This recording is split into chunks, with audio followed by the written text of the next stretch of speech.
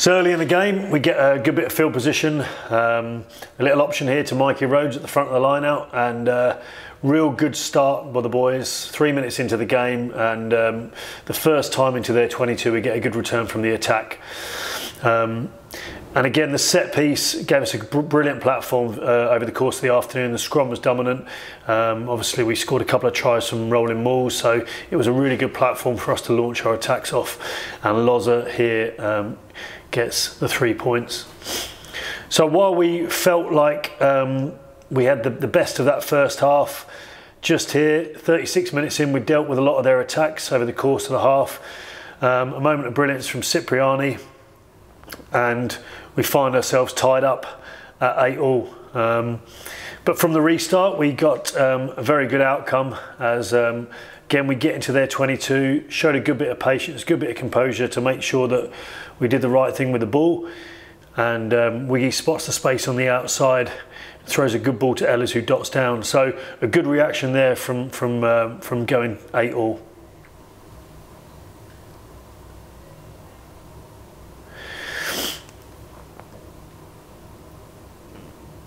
So clear penalty advantage there, and we're just having a shot now, seeing if we can get anything more from it.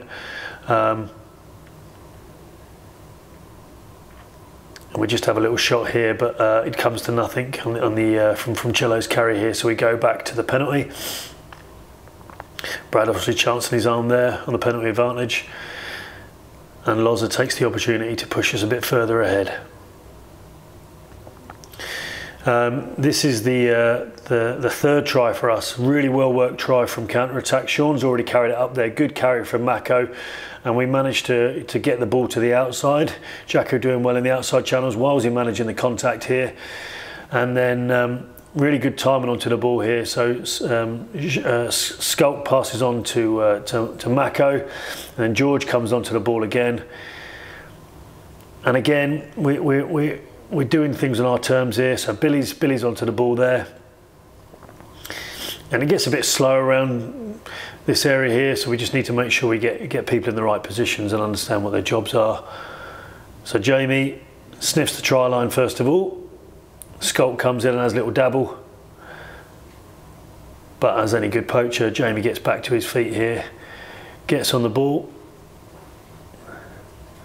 and has a little trundle over from a couple of yards out. So really well worked try going from, from a bit of attack outside the 22, inside to the 22. Brad Barritt had a brilliant game all afternoon um, with his carrying and getting us on the front foot yet again here. Gives us the platform to launch an attack here. So we get into uh, a channel here from Brad. Play the forwards up again. And then we look to go back down the short side. And as we go down here, uh, Mako, Mako comes in at first receiver. And then Sean gets clotheslined here around the neck, giving us an opportunity here. So we just have a little shot here um, with, um, with the forwards coming onto the ball. And again, Bill, a nice little carry offload to Para. Para thought he was going to score his first try for the club but gets caught short. Um, so from the resulting penalty, we get the we get them all set up, and clearly the weight of Brad Barritt and Matty Gallagher was made the difference here. The backs making the difference to a forwards effort, um, and getting that all important fourth try for the bonus point. Again, really good set piece performance, um, giving us the platform there. Some good darts from Jamie, and you can see the excitement from the boys. So, really good win, and on to Europe.